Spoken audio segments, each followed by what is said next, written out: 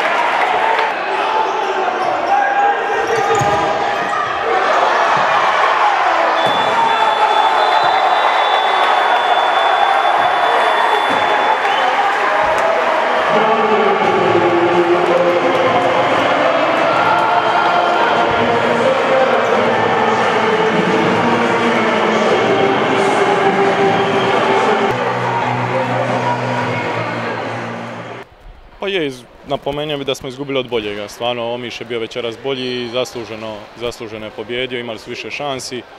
Mi smo pokušali ostati što duže u igri, što duže u nekom neizvjesnom rezultatu i tome smo uspjeli. Na kraju smo čak mogli i poentirati za taj bod, ali eto, nismo uspjeli i svaka čast Omišu. Utakmica protiv Makarana svaka je teška, svaka je čvrsta, svaka je na jedan balon. Ovaj put je otišla na našu stranu, iako mislim da smo čitavu utakmicu kontrolirali, dominirali i hvala dragom Bogu na kraju pobjedili. Puno žutih kartona, crveni. Pa dobro, tenzije su uvijek, uvijek su tenzije između nas, nekakva pozitivna atmosfera uvijek. Dalmatinski dišpe što se kaže i to je sve ok. I ovu pobjedu bi posvetio našem pokojnom Stipi Kafri koji da ga dragi Bog nije uzeo sigurno već razbio